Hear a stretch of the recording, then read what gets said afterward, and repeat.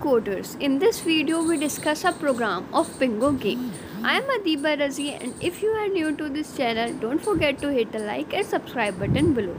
Here we only discuss the highlights of program. Link for the source code is in description box. Program is written by Ishan Vashne and Vivek Chauhan. Everyone plays bingo game but could you ever imagine that what is the trick behind this game?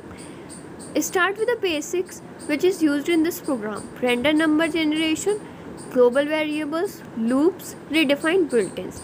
Here is some pre-knowledge. What is global variables? In Python, a variable declared outside of the function or in a global scope is known as a global variable. This means that a global variable can be accessed inside or outside of the function random draw list is used as a global variable. Without wasting much more time, quickly jump into the main game. When you enter in game, it will first ask you to want a grid manually or automatic. Here is a slide like this. Create grid automatically or manually. Enter A for automatic or M for manually. Suppose I have choose automatic. Then the computer already set a bingo grid like this and ask me to enter a number of my choice from the grid. If I choose 2 then computer automatically choose the other number from the grid.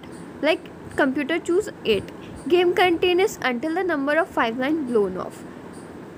Thank you. Hope you like this video. Don't forget to hit the like button so we can create a more useful and interesting videos